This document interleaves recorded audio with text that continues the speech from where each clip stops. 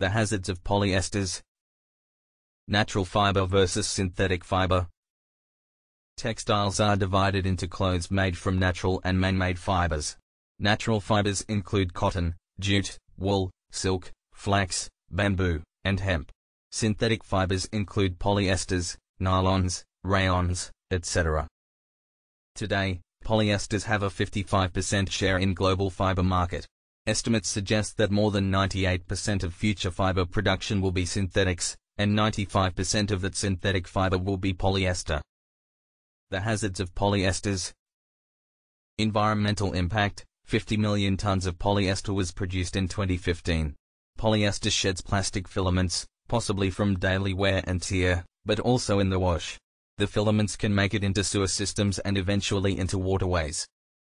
Researchers found plastic fibers in samples from 29 tributaries of the Great Lakes in the US, in a 2016 study. These fibers make up 70% of all the plastic collected. They are absorbed by wildlife and work their way up the food chain. Health impact Polyester was created in the 1950s, not by a textile mill, but by an American chemical company, DuPont. Chemicals present in clothes can enter the human body via dermal absorption.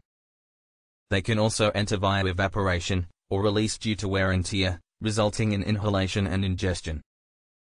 Being petroleum-based, polyester is also flammable. Many polyester fabrics are coated with flame-retardant chemicals, especially in children's clothing. These chemicals have been associated with thyroid dysfunction in pregnant women and interfere with neurological development in infants and children.